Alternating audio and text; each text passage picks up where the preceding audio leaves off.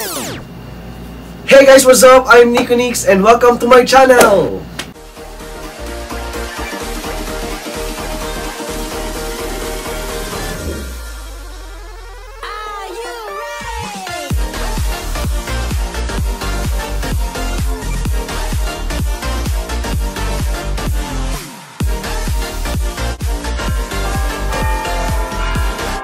Hi guys, muli ako nga pala si Nico Nix.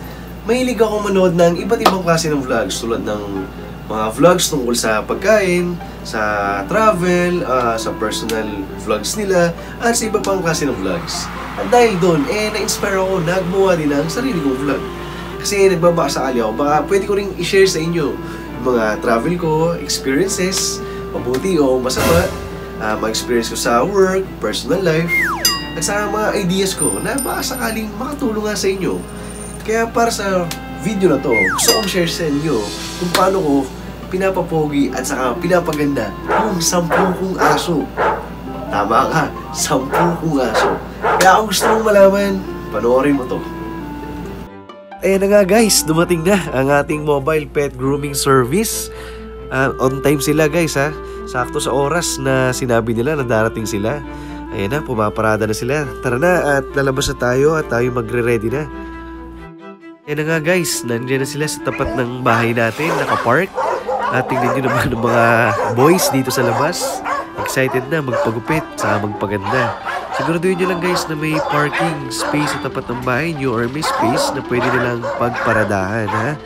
At after nyan is kailangan nyo isaksak yung cord nila sa para sa power source. Nga guys, ito na ang ating mga alaga, ang ating mga kulit at mga cute na pets. Ready ready na sila magpagupit. Ah, ngayon, eh, ipapasummer cut ko silang lahat kasi malapit na ang summer. Sa mabilis humaba ang buhok nila so papabawasan pa natin ng mas maikli para hindi sila mainitan ngayong darating na summer. Kaya tara na!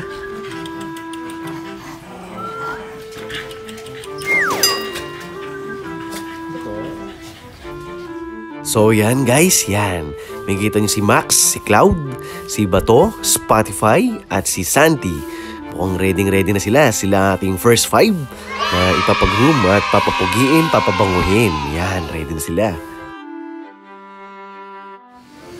Guys, pasyal ko kayo sa loob ng grooming area. Yan yung kanilang paliguan. May ceiling fan. Yan yung table. Dalawa yan. So, ayan. Sinishave na siya. Ayan ang summer cut. Tapos meron din tayong blower. Ayan, may kumpleto naman sila sa tools. Ayan na. Man, ito yung mga gagawin sa kanila. Una, ayan, gugupitan. Kung ano gusto mong gupit. Next, ayan, puputulin ng nails. And papaliguan. Siyempre, kasama na rin yung paglilinis ng tenga, pagpapabango, powder, at iba pa.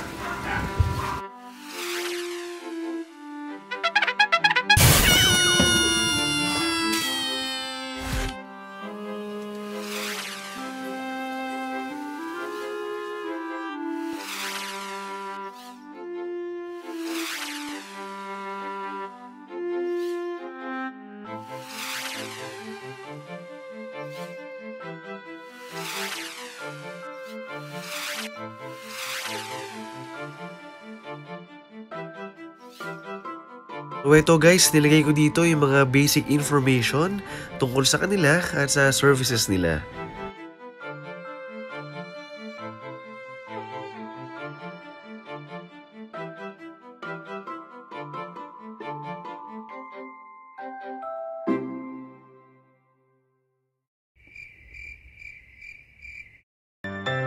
Tapos ng ilang oras sa paghihintay, eto na!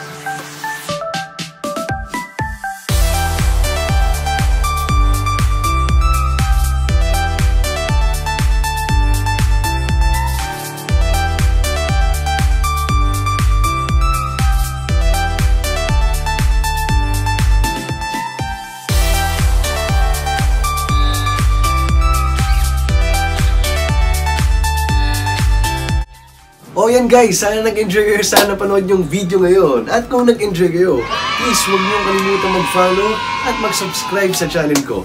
Pwede rin kayo mag-comment at mag-suggest dito sa baba. O paano mga bok, kita kits!